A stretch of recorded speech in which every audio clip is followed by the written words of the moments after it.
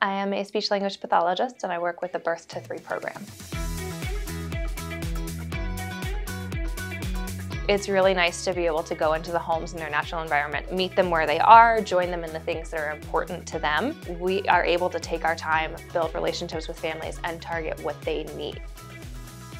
We do this to uplift our community.